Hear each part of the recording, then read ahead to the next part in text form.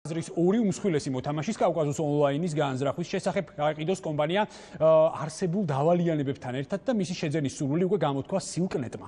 ხოლო მეორეს მხრივ ნაწილობრივ შეძენის სურვილი მაგთიკომმა. ამავდროულად ქვეყნის საყოველთაო ინტერნეტიზაციაზე ზრუნვა დაიწყო სახელმწიფომაც და ბაზარს ახალი არაკომერციული პირი OpenNet-ი მოევლინა, რომელიც ირწმუნება, რომ 2000-მდე დასახლებულ პუნქტში ინტერნეტს არსებულ კერძო მაგისტრალებზე ინფრასტრუქტურის დაშენების გზით მიიტანს. აა ჩვენი ჟურნალისტი ანა ცხოვრ ცხოვრებობა დაინტერესდა, ვინ, სად, რას, როგორ და რატომ გეგმავს ქართულ ინტერნეტ ბაზარზე. ეკონომიკის სამინისტროს ინფორმაციით, მსოფლიო ბანკის 40 მილიონიანი დაფინანსება საქართველოსი ინოვაციური ეკოსისტემის ფორმირებასთან ერთად ქვეყნის ინტერნეტიზაციის მიზნით ცირე და საშუალო ინტერნეტ პროვაიდერების ხელშეწყობასაც მოხმარდება.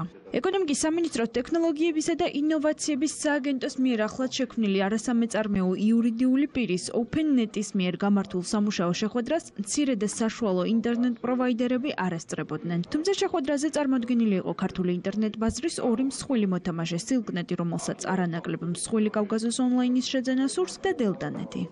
OpenNet ეკონომიკის სამინისტრომ 2000-მდე დასახლებული პუნქტის ინტერნეტით უზრუნველყოფის მიზნით შექმნა იმ მოტივით, რომ ამ პროექტის განხორციელება მსხვილი ინტერნეტ პროვაიდერებისთვის მომგებიანი არ არის. საჯარო რეესტრის მონაცემებით არაკომერციული იურიდიული პირის სამეთვალყურეო საბჭოს თავმჯდომარე ინოვაციების სააგენტოს ხელმძღვანელი ირაკლი ქაშიბაძეა, ხოლო ერთ-ერთი წევრი ეკონომიკის მინისტრი დიმიტრი კუმსიშვილი. გრანტი პროექტის განსახორციელებლად ფონდმა ქართუმ გამოყო, თუმცა გრანტის ოდენობას OpenNet-ი ჯერჯერობით არ ამხელს.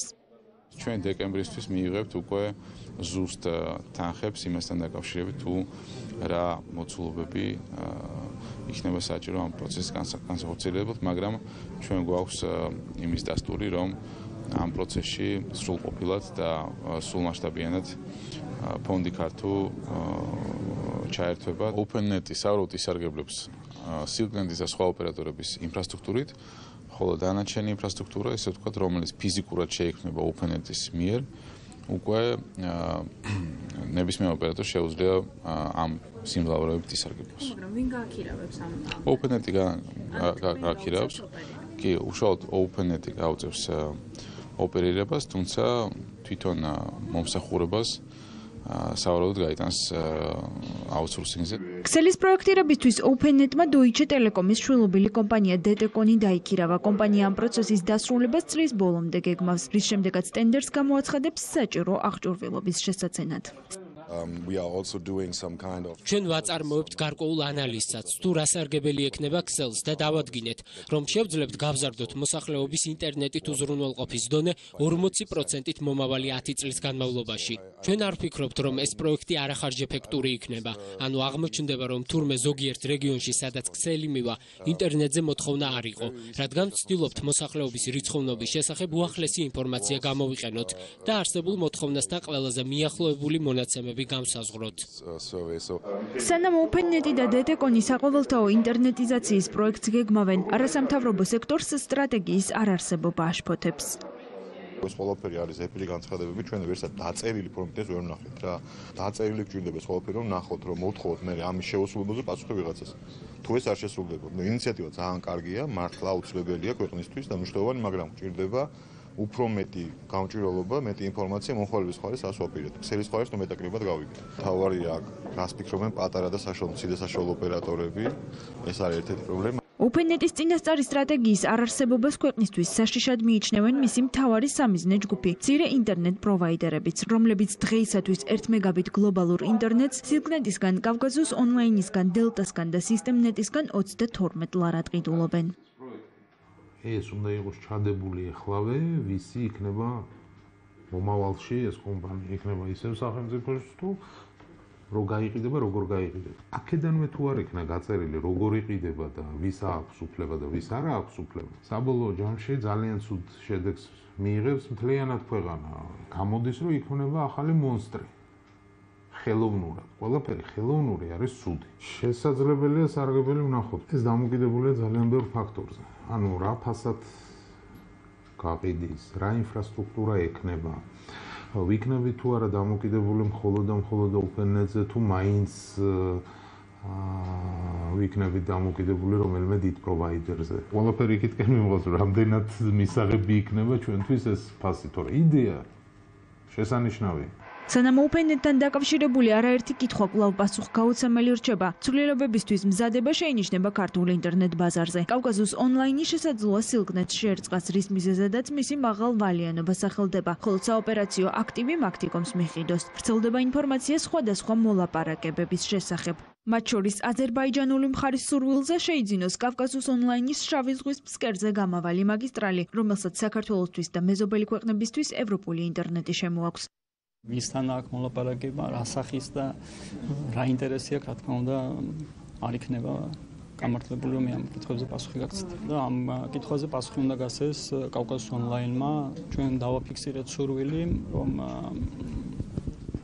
კავკასიის ონლაინის მიერ გამოცხადებული გაყიდვაში მონაწილეობა, გავსი ცვლილებები ბაზარზე ლოგიკურია რომ ჩვენ ინტერესი წოვდეს ნებისმიერი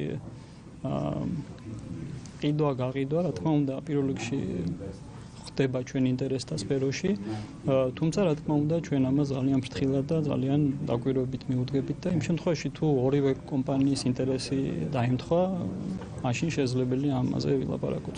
სხვადასხვა ტიპის მოლაპარაკებების მიმდინარეობა დაადასტურეს, თუმცა კონკრეტული კომენტარის გაკეთებისგან თავი შეიკავეს კავკასიის ონლაინში. კომუნიკაციების კომისიის გადაწყვეტილებამდე კომენტარს არაკეთებს არც მაქტიკომი, ხოლო კომისიაში ამბობენ, რომ ამ სამი კომპანიის გარდა მათ სხვა ტიპის მიმართვა არ მიუღიათ. კომისიაში არის შემოსული სულ ორი განცხადება და ორივე განცხადებაზე მიმდინარეობს საჯარო ადმინისტრაციული წარმოება. ეს არის ერთი სილკნეტის და კავკასიის ონლაინის ერთობლივი განცხადება წილების შერწყმის თაობაზე და და მეორე მაგთიკომის სურვილი კავკასოს ონლაინის საოპერაციო აქტივის შეძენის თაობაზე. შესაძლოა ეს კომპანიები გარკვეულ მოლაპარაკებებს სხვა მიმართულებითაც აწარმოებდნენ, თუმცა ჯერჯერობით ოფიციალური განაცხადი კომისიაში ამ თემასთან დაკავშირებით დამატებით არანაირი წარმოქმნილი არ არის. გამძაფრდება თუ შეიზღუდება კონკურენცია ქართულ ინტერნეტ ბაზარზე, ამას კომისიის მიერ მიღებული გადაწყვეტილება და OpenNet-ის შემდგომი ნაბიჯები განსაზღვრავენ. მანამდე კი მცირე და საშუალო ინტერნეტ პროვაიდერებს ერთის მხრივ OpenNet-ის გეგმების გაუმჭვირვალობა აეჭვებთ, ხოლო მეორეს მხრივ ბაზრის უმსხვილესი მოთამაშეების შერწყმის იდეა არასახარბიელოდ მიაჩნიათ. მაშასე ყველა მნიშვნელოვანი კითხვისა და კომპლექსური საკითხის თამოყრა საქამ სტუდიაში უკვე სტუმრებთან ერთად ვესტებით. პირდაპირ ეთერში გვერდებიან ბატონი მიხეილ გოთოშია, ალტერნეტის დირექტორი, ბატონი უჩასეთური ინფორმაციის თავისუფლების განვითარების ინსტიტუტის წარმომადგენელი, ბატონი ირაკლი კაშიბაძე, ინოვაციებისა და ტექნოლოგიების სააგენტოს თავმჯდომარე და ბატონი ვლადიმერ სვანაძე, ინტერნეტის განვითარების ინიციატივის დამფუძნებელი და გამგეობის თავმჯდომარე. ბატონებო, მოგესალმებით, ძალიან დიდი მადლობა, რომ იღებთ მონაწილეობას ჩვენს გადაცემაში. საუბარს დავუწყებ ბატონ ირაკლისთან. სიუჟეტშიც მოусმინეთ, რომ არაერთმა მნიშვნელოვანმა კომპლექსურმა საკითხმა გაიჟღერა, რომ ძირითადი ასპექტები და ძირითადი ნაკლოვანებები, რასაც ამ შემთხვევაში არასამთავრობო სექტორი ხედავს ქვეყნის ინტერნეტიზაციის პროცესში, არის ის, რომ არ არსებობს ერთიანი სტრატეგია და სასურველი იქნებოდა ეს ყოველ შემთხვევაში მათი პათოსია, რომ რაც შეიძლება გამჭვირვალე იყოს მიმდინარე პროცესები. რამდენად ეთანხმებით ამ მოსაზრებას და რამდენად მიმდინარეობს თუნდაც აი ამ ორი მნიშვნელოვანი კრიტერიუმების დაცვით პროცესი. გისმით. მოგესალმებით, მივესალმებით თქვენს მაყურებლებს. მე პირველ რიგში მინდა აღვნიშნო თუ ზოგადად რა მნიშვნელობა აქვს ინტერნეტიზაციის პროცესი ქვეყნისათვის? აა დაიწყო საქართველოსში ესე ვთქვათ ერთ-ერთი უმნიშვნელოვანესი პროექტის განხორციელება, რომელსაც თქო ეკონომიკის სამინისტრო უდგას სათავეში და შეიქმნა შესაბამისი არაკომერციული ორგანიზაცია OpenNet. OpenNet ამაზეც ოდნა მოგვიანებით გითხავთ, თუმცა ვინაიდან დროში ვიქნებით შეზღუდული სავარაუდოდ. ფაქტობრივად ჩვენ ხედავთ იმ სიტუაციას, როდესაც კომერციული ოპერატორები შედიან მხოლოდ იმ ესე ვთქვათ, ქალაქებში თუ რეგიონებში, სადაც მათთვის ეს კომერციულად მომგებიანი არის, თანაფარდობით, ესე ვთქვათ, ინფრასტრუქტურის გაყვანის და შემდგომში კონკრეტულ მოხალებლობამდე ინფრასტრუქტურის ესე ვთქვათ, საბოლოო მიყვანით. პროექტის მიზანი არის შევიდეს ყველგან, ყველა სოფელში, იქ თუ სად კომერციული ოპერატორები არაპირებენ შესვლას და მათთვის ნაკლებად საინტერესოა. შეიქმნას ინფრასტრუქტურა, რომელიც შემდგომ იქნება როგორც მცირე და საშუალო, ასევე მსხვილი ოპერატორების ოპერატორებისათვის ხელმისაწვდომი. ჩვენ ხედავთ უკვე პროცესს თუ როგორ მოდიან ჩვენთან მცირე ოპერატორები, ასევე უბრალოდ ბიზნესმენები. შეხვედრას არც ერთი მცირე ოპერატორი არ ესწრებოდა. მიზეზი ხო? უშინდელ შეხვედრას. შეხვედრას უფრო სწორად რომელიც ჩვენ გავაკეთეთ. OpenNet გეგმავს შეხვედრას მცირე ოპერატორებთან, მცირე საშუალო ოპერატორებთან, საერთოდ ჯამში ოპერატორების რაოდენობა 100-ს აღემატება. და ეს არის ეტაპობრივი პროცესი. უბრალოდ მე არ მინდა რომ როგორც კომპანიებს ასევე მაყურებელს შეექმნას სტაბილიზება რომ სულ ორი თვეა რაც დაიწყო ოპერატორმა ფუნქციონირება. ეს არის სამუშაო პროცესი. ჩვენ თამდერულად ვახორციელებთ მუშაობას ყველა იმ დაინტერესებულ ჯგუფთან, იმ სეგმენტებთან, რომელიც იქნება პოტენციური მომხმარებელი ამ ინფრასტრუქტურის ეს არის მათ შორის ხილი ოპერატორები, იმიტომ რომ უნდა დაშენდეს ზუსტად ინფრასტრუქტურა მათ კი ბატონო, გასაგებია. აუცილებლად დაგებრუნდებით. ბატონო უჩას თან გადავალ. შემდეგი კითხვით. ბატონო უჩა, თქვენ გააჟღერეთ რეალურად ეს პათოსი და ამის შესახებ არაერთხელ გვისაუბრია ამ სტუდიაში, რომ რეალურად საჭიროა მეტი გამჭვირვალობა და საჭიროა უფრო მეტი სტრატეგიული, ასე ვთქვათ, კონცეფციური ხედვებით ემასთან დაკავშირებით. ანუ ხართ თუ არა კლავინდებურად ამ აზრზე და ასე ვთქვათ, რა იქნება თქვენი თავარი რეკომენდაციები, რითიც ბატონ ირაკლის ამ შემთხვევაში მიმართავთ. მოგესალმებით, მადლობა მოწვევისთვის ამ თემის გაშუქებისთვის. აქ არის ერთი მთავარი, რადგან სიუჟეტიც იყო საუბარი, გეგმაზეა საუბარი და სტრატეგიაზე, ანუ ქვეყანა იწყებს ამ აქტივობას, რომელიც ძალიან მნიშვნელოვანია დავეთანხმებით ბატონიაკის ამ ნაწილში, რომ საკმაოდ ერთი ღირებული და ზელვადიან პერიოდზე გათვლის, თქვათ, მიზნები ამ შემთხვევაში წარმოდგენილი, თუმცა ჩვენ არ გვაქვს არსად დაწერილი ფორმით სტრატეგია, რომელშიც პირველ რიგში შეფასებული იქნება არსებული მდგომარეობა, შეფასდება არა მარტო არსებული სატელეკომუნიკაციო ოპერატორების ინფრასტრუქტურა, არამედ ყველა ინფრასტრუქტურა, რომელიც შეიძლება გამოვიყენოთ ჩვენ ამ მიზნებისთვის. დიახ. გაიწერება ვალდებულებები და თავისი გეგმა, რომლის მოთხოვნა, რომლის ისე კონტროლის საშუალება ექნება არასამთავრობო სექტორს, რა თქმა უნდა, გამჭვირვალობის პირობებში. და არის ერთი მომენტი, ეს არასამთავრობო ორგანიზაცია, რომელმაც უნდა განახორციელოს ოპერირება ის დააფუძნეს ფიზიკურმა პირებმა ის რომ არსებობდეს ვთქვათ CP-ის ფორმით ამ შემთხვევაში მას ექნებოდა მასე გავრცელდებოდა იგივე კანონის სახელმწიფო შესაძლებლობის შესახებ ასევე გვინდა ანუ რატომ ამბობ ამას ამბობ იმიტომ რომ ამ CP-ს უნდა კონდეს შესაბამისი იგივე სტანდარტის გამჭვირვალობის ვალდებულებები როგორც ჩვეულებრივ სახელმწიფო ორგანიზაციებს. კი ბატონო, ეს მინდა რომ იყოს სტრატეგიაში, აქ ძალიან ბევრი მრავალსახოვანი პრობლემებია. ბატონო, ჩა სანამ უშუალოდ სტუმრებს მოусმენთ, რომლებიც კომპანიებს წარმოადგენენ, მე მინდა მაყურებელს მცირედი ვიზუალიზაცია შევთავაზო და ცხადე ბატონ ირაკლის მოეცემა საშუალება რომ გაგცეთ ამაზე პასუხი, ანუ რეალურად მე კიდევ ერთხელ მინდა მაყურებელს შევახსენო, რა არის IDFI-ის ძირითადი მოთხოვნები, რაც ქვეყნის ინტერნეტიზაციას უკავშირდება და ჩვენ ნამდვილადაც ვიცი გვაქვს საშუალება ვიხილოთ ვიზუალიზაცია. ანუ კონკრეტულად ეს არის ფართოზონოვანი განვითარების გეგმის შემუშავების ეტაპები. ეს არის ინფრასტრუქტურული მოდელის შერჩევა, ეს არის საინვესტიციო მოდელის შერჩევა, ეს არის ბიზნეს მოდელის შერჩევა, ეს არის ფინანსირების ინსტრუმენტების შერჩევა და ეს არის სამოქმედო გეგმისა და შესრულების გეგმის წარდგენა. ბატონო უჩა, შემისწორეთ თუ რამე ისეთი არაზუსტად თქვი. ბატონო ირაკლი, აი კლამიდებურად ამ სტრუქტურის მიხედვით რამდენად განვითარდა რეალურად მუშაობა? აი თითოეული ჩემს მიერ ჩამოთვლილი პუნქტი რამდენად იყო განვითარებული? თითოეულ ამ პუნქტთან მიმართებაში მიმდინარეობს მუშაობა უცხოელ ექსპერტებთან, ანუ დაქირავებული არის შესაბამისად ერთ-ერთი წამყვანი საკონსტიტუციო კომპანია მსოფლიოში დეტეკონი, რომელიც არის Deutsche Telekom-ის შვილობილი, ასე ვთქვათ, საკონსტიტუციო კომპანია. და მის მიერ ზუსტად ხორციელდება ყველა ამ ეტაპის, ყველა ამ პროცესის ანალიზი და ფორმირება იმ სახელმძღვანელო დოკუმენტების, რომელიც მათ შორის დაგვეხმარება სატენდერო პროცესის წარმოებაში, მათ შორის დაგვეხმარება ზუსტ დაგეგმარებაში და ოპტიმიზაციაში თანხების რადგან პროცესი არის საკმაოდ შრომატევადი, კომპლექსური. აუცილებელია მოკლე დროში მოხდეს ამ პროცესის წარმოება, რადგან ინტერნეტიზაცია წარმოადგენს ესეთ უმნიშვნელოს პრიორიტეტს სახელმწიფოს. მე არ მინდა რომ დაგვეჩაგრონ სტუმრები ამ შემთხვევაში ბატონი მიხეილი და ბატონი ვლადიმერი, რომელიც ჩვენთან იმყოფებიან სტუდიაში. ბატონებო, კიდევ ერთხელ მოგესალმებით და მთლიანობაში მე მინდა გკითხოთ ამ შემთხვევაში OpenNet-ის გამოჩენა ბაზარზე. რეალურად საკმაოდ საინტერესო ცვლილებები მიმდინარეობს ქართულ ინტერნეტის ბაზარზე, თუმცა აი კონკრეტულად ამ მიმართულებას როგორ აფასებთ და მე ბატონ ირაკლისთანაც ვისაუბრე, ანუ რეალურად შეხვედრა, რომელიც შედგა კომპანიების წარმომადგენლებთან და რომელსაც მხოლოდ სილკნეტისა და კავკაზუსის წარმომადგენლები ესწრებოდნენ, რატომ არ იყვნენ წარმოადგენლები მცირე კომპანიები? ესეც საკმაოდ საინტერესოა. მე ცხადია ბატონ მიხეილს კითხავ პირველ რიგში ამ კითხვით ბატონ მიხეილთან გადავალ და უკვე შემდეგ განვარცობ ბატონ ვლადიმერთან. ბატონ მიხეილ, გისმენთ? გამარჯობა, დიდი მადლობა მოწვევისთვის. სამწუხაროდ ჩემთვის ცნობილი არ არის, რატომ არ იქნა მოწვეული მცირე და საშუალო ოპერატორები. აა მე ერთხელ აღვნიშნე კიდევ ვიტყვი რომ პრინციპში იდეა არის ძალიან კარგი, შეიძლება ითქვას გენიალური. და უბრალოდ ვინაიდან არ არსებობს სტრატეგია, უბრალოდ ჩვენ არ ვიცით ეს სტრატეგია. ისედაც პატარა ოპერატორს უჭირს მომავლის დაგეგმა ძალიან რთულია მომავალი ბიზნეს გეგმის შემუშავება ამ პირობებში. ის რომ საინფორმაციო ვაკუუმში ხართ, ანუ როგორც თქვენ მზარეთ რომ სტრატეგია თქვენთვის არ არის ცნობილი. აი აქ ამ შემთხვევაში ვისი პრეროგატივაა რომ თქვენ რაც შეიძლება მეტი ინფორმაცია გქონდეთ. სავარაუდოდ სამინისტროს, სავარაუდოდ იმ ორგანოსი, ვინც ახორციელებს, ვინც დააფუძნა და ვინც ახორციელებს ამ პროექტს. კი ბატონო. და რეკლამაზე გავალთ ახლა ბატონებო და ძალიან მალე ამ საკმაოდ მნიშვნელოვანი და კომპლექსური თემით კლავინდებურად ვართ პირდაპირ ეთერში, ასე რომ დროებით.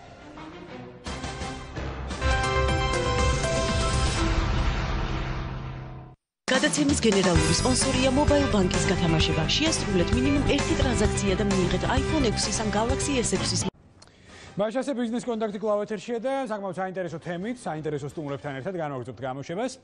ბატონო ვლადიმერთან ყავალ ჩემი უკაცრავად ჩემი შემდეგი კითხვით. ბატონო ვლადიმერ, რეალურად მცირე და საშუალო ზომის ინტერნეტ პროვაიდერები დაახლოებით 32 ლარად ყიდულობენ 1 მეგაბიტ გლობალურ ინტერნეტს მსხვილი კომპანიებისგან. ამ შემთხვევაში თქვენი აზრით, OpenNet-ის ბაზარზე გამოჩენა რეალურად რას შეცვლის და ეს ყველაფერი ხომ არ გამძაფრებს ან პირიქით კონკურენციაზე რა გავლენას მოახდენს ძალიანობაში ეს ფაქტი გისმენთ? მოგესალმებით, დიდი მადლობა მოწვევისათვის. ეს მეცინა გამოსვლებს დავითანხმები იმაში რომ ეს იდეა და ინიციატივა არის ძალიან მნიშვნელოვანი და აუცილებელი შეიძლება ითქვას რომ ეს არის საშვილიშვილო საქმე კეთდება. დიახ. უშუალოდ კითხვას რაც შეეხება როგორც ბატონ მერაკლიმ ბრძანა რომ თვითონ იქნება მიმწოდებელი და ასე ვთქვათ პროვაიდერი ამ შემდეგ ამ ამისი.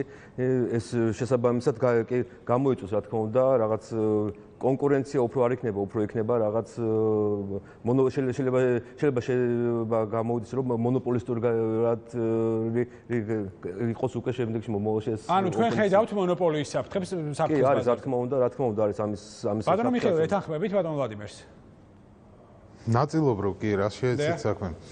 აა დღეის მდგომარეობით 32 ლარი ეს დღეგეს garaშე აა რაც არის დადგენილი რამდენადაც ჩემთვის არის ცნობილი, ეს არის ხარჯებზე ორიენტირებული. ანუ ეს უკვე ის ფასია, რაც კომპანიას, დიდ კომპანიას, შემომტან კომპანიებს უჯდება.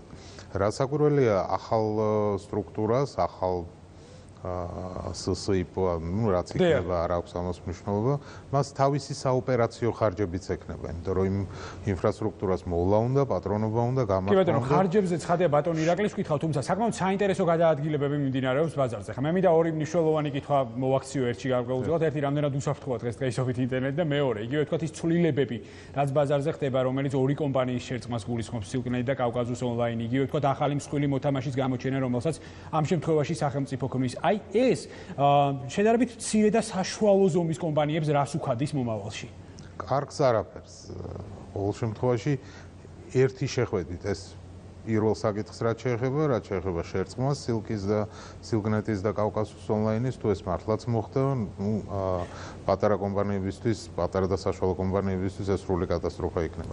ბატონო ირაკლი, ბატონო ირაკლისთან გადავალ და აუცილებლად დაგიბრუნდებით ბატონო მიხეილ, ანუ თლიანობაში გრანტი გამოიყო ქართულ ფონდის მიერ. შეგვიძლია თუ არა აქ ამ ეთერში დავასახელოთ თლიანობაში გრანტის მოცულობა, ეს ერთი, რადგანაც ამ შემთხვევაში არასამთავრობო სექტორი და ბატონო იმშავი იმყოფება ჩვენთან სტუდიაში მეტ გამჭვირვალობას ითხოვს, ეხლა გვაქვს ექსკლუზიური საშუალება რომ დავასახელოთ ზუსტად გრანტის მოცულობა მთლიანობაში და აი თქვენ თუ ხედავთ იმ საფრთხეებს, რაზეც მცირე და საშუალო კომპანიები საუბრობენ. მე მინდა უბრალოდ მცირე შესწორებები შევიტანო და დავუსტო გარკვეული საკითხები, რადგან მაყურებელი არ შევიდეს. რა თქმა უნდა, რა თქმა უნდა. პირველ რიგში მინდა აღვნიშნო, რომ OpenNet არის ტექნიკური შემსრულებელი. ტექნიკური შემსრულებელს აქვს კონკრეტული ფაზები სამუშაოების წარმოების პროცესში.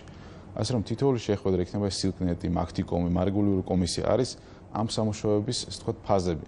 ასე რომ იმ იმაზე ასე ვთქვათ გამოხული ყურადღების რომ რომელიმე ესე ვთქვათ მომხმარ მიმწოდებელთან მომსახურს არ მოხდა შეხვედრა ეს ნიშნავს ის რომ ეს არის დროში გაწეული პროცესი. ანუ ჩვენ ცხაში გვაქვს მაგათ სახელმწიფო სტრუქტურებთან შეხვედრა. შემდგომ არის დაგეგმილი უკვე მცირე და საშუალო პროვაიდერებთან შეხვედრა. და გარდა ამისა ჩვენ პირდაპირ ხედავთ უკვე ინტერესს ამ მცირე საშუალო კომპანიების მხრიდან ასევე ბიზნესმენებისგან რომელსაც უბრალოდ გააჩნია გარკვეული თანხა და სულს დააბანდოს თავისი კაპიტალი ინტერნეტის ბიზნესში ანუ ჩემი კითხვა რამდენად რელევანტული იქნება. თუ გკითხავთ რომ თქვა რამდენად გაყიდის მაგალითად 1 მეგაბიტს. ამ შემთხვევაში OpenNet-ი ინფრასტრუქტურა ექნება და რა მოცულობის ინვესტიცია იქნება მთლიანად. OpenNet-ის პრინციპი არის აგებული ღია დაშვების ეს თქვა ინფრასტრუქტურის ფორმირების პრინციპზე. ფაქტობრივად ის ინტერნეტს არ გაყიდის ის არის მხოლოდ გამტარებელი ინფრასტრუქტურა სხვა ინტერნეტ პროვაიდერებისათვის. ანუ ფაქტობრივად იმაზე, ასე ვთქვათ, გამოხვილება ყურადღების რომ შეიქმნა მონოპოლისტი ან კონკურენციაში შეოს სხვა ოპერატორი არ არის სწორი, იმიტომ რომ მსგავსი მაგალითები არის შვედეთში, ლიტვაში, ლატვიაში და აი ინვესტიციის მოცულობა ძალიან ცოტა დრო ხრჩება ბატონო ირაკი. ხო, ასე რომ ეს არის სრულად ნეიტრალური ინტერნეტ პროვაიდერი, რომელიც დანარჩენ ოპერატორებს ხელშეუწყობს განვითარებაში და რაც შეეხება ინვესტიციის მოცულობას, მე მანაბის აღნიშნე რომ მიმდინარეობს მუშაობა უშუალოდ საკონსტრუქციო კომპანიას რათა გაერკვეს საბოლოო ჩვენ გვინდა მაქსიმალურად მეტი წერტილი მოვიცოთ. მოვიცოთ სკოლები, ბიბლიოთეკები, მოვიცოთ ყველა ეს წერტილი. ანუ კონკრეტულ თანხას ბატონო ერაკლი ვერ ვასახელებთ. ჯერჯერ ვერ ვასახელებთ, იმიტომ რომ მიმდინარეობს კი ბატონო, აუცილებლად ბატონ უჩას მინდა ვკითხო, ანუ მთლიანობაში ცირე და საშუალო კომპანიებმა წარმოშვეს გარკვეული პათოსი, რომ შეიძლება ბაზარზე გაჩნდეს მონოპოლიური სიტუაცია. ანუ არასამთავრობო სექტორი ამ შემთხვევაში IDFI როგორ აფასებს თვითონ ამ სიტუაციას და მე მინდა მნიშვნელოვან მოთამაშეზე კითხოთ ასევე კომუნიკაციების მარეგულირებელი კომისია რეალ რეალურად რამდენად არის მოწოდების სიმაღლეზე მთლიანობაში ამ საქმეში? აა დავიწყებ ბოლო კითხვიდან, ანუ კომისიამ დადო მისი გეგმები დაახლოებით 2 წლიანი, რომელიც შეეხება ბაზის რეგულაციებს და ეს გეგმები თუ განხორციელდება და სათანადო განხორციელდება, ვფიქრობ, რომ პრობლემების ძალიან დიდი ნაწილი გადაწყდება. რაც შეეხება კონკურენციას, თუმცა იმის თქმა, რომ ეს ახალ შექმნილი ჩვეულებრივი NGO-ს ფორმით არაკომერციული იურიდიული პირი არ იქნება ოპერატორი ბაზარზე, არის უბრალოდ არასწორი, იმიტომ რომ რა თქმა უნდა გატარების ბაზარზე იქნება ის მონოპოლისტი, ის დააგრძელებს ორი დიდი მონოპოლისტის, სამი დიდი მონოპოლისტის ქსელს აა სხვა დაუკაბელებელ გეოგრაფიულ წერტილებამდე და მას უბრალოდ ალტერნატივა არ ექნება. მას ექნება როგორც პატრონო მიშამძანა, რა თქმა უნდა, ოპერირების ხარჯები. ასე რომ უალტერნატივობა, ასე თქვა, მისი რეგულაციის აუცილებლობა უკვე წინასწარ ჩანს და გეგმის გარეშე, ანუ შედეგების წინასწარ დანახვის და გააზრების გარეშე შეიძლება მივიდეთ ძალიან შედეგებამდე ამ კარგი საქმისგან, ძალიან კარგი წამოწყებისგან მივიღოთ და ერთი მნიშვნელოვანი მომენტი თუ არის საშუალება რომ დავაზუსტო. ძალიან მოკლედ. ალი ამას დიდი მნიშვნელობა აქვს მედიისთვის პირველ რიგში და მედიის თავისუფლებისთვის, აქ საუბარია სოციალურ ქსელებზე, ანუ ინტერნეტიზაცია პირდაპირ არის მებული გამოხატვის თავისუფლებაზე, ამიტომ ძალიან ბევრი რაღაცა კიდე ამ პროექტის. რამდენად უსაფრთხოა დღესდღეობით და რამდენად უსაფრთხო იქნება მთლიანობაში სისტემა? ეს სალკე საკითხია პრინციპში არც ეს არ ვიცი ჩვენ თუ გვექნებოდა სტრატეგია შეგვიძლია დაგვენახა თუ როგორია ამ მიმართულებით კი ბატონო ბატონო ვინაიდან დროში ფაქტიურად შეზღუდულებივად რამ გამოიწვია ეს საინფორმაციო ვაკუუმი რაზეც არასამთავრობო და კერძო სექტორი საუბრობს ბატონო ირაკლი რაც ეხება სტრატეგიას სტრატეგიაზე მიმდინარეობს მუშაობა ინოვაციური საქართველოს 2020 უახლოეს მომავალში დასრულდება დრაფტი ამ სტრატეგიის რომელიც ერთ-ერთ ნაწილს შეადგენს და მოიცავს ინტერნეტიზაციის პროცესიც. ჩვენ შევთავაზეთ შევთავაზეთ ისე მინდა აღვნიშნო რომ არანაირი საინფორმაციო ვაკუუმი არ არის ჩვენ პერიოდულად ვაწყობთ შეხვედრებს მათ შორის IDFI-ს და სხვა ორგანიზაციებს ესტრებიან ამ შეხვედრებს. ჩვენ მუშაობთ ბლოგზე იმიტომ რომ ნახეთ რომ რამდენი დიდი ინტერესი არის ამ საკითხის მიმართ და მუდმივად ყველა მათ შორის არაფორმალურ სიახლეებს დავდეთ აღნიშნულ ბლოგზე. რაც შეეხება უშუალოდ მონოპოლიზაციაზე და აი ამ ინფრასტრუქტურის ესე ვთქვათ დაგრძელების თვალსაზრისით ჩვენ გვაქვს ძალიან დიდი უპირატესობა და ძალიან დიდი კარგი ფაქტი რომ ეს არის გრანტი სახელმწიფოსთვის შესაბამისად მომავალში დიახ დიახ შესაბამისად თვითონ ინფრასტრუქტურის ღირებულება ანუ მისი ძირითადი საშუალების ღირებულება იქნება გაცილებით ნაკლები და შესაძლოა საოპერაციო ღირებულებაც იქნება გაცილებით ნუ მე ყოველ შემთხვევაში მაქსიმალურად ვეცადე რომ თითოეული მხარის პოზიცია დაფიქსირებულიყო თუმცა ბიზნეს კონტაქტი ცხადია თემას უკვე შემდეგ გამოშვებებში აუცილებლად დაუბრუნდება და თუ რეალურად რა უხერხულობებზე საუბრობს ბიზნესი ამას ჩვენ აუცილებლად მოვისმენთ თუ თუმცა ეს მოსაზრებები დღეს აქ ამ სტუდიაშიც გაჟღერდა. ძალიან დიდმალობა ბატონებო რომ მიღებდით მონაწილეობას ჩვენს გადაცემაში, გიზურებთ წარმატებებს. მე კი ისე დამჩენია დღის შემაჯამებელ გამოშვებამდე დაგემშვიდობოთ ზუსტად 18 საათსა და 30 წუთზე შევხვდებით ერთმანეთს ასე რომ დროებით.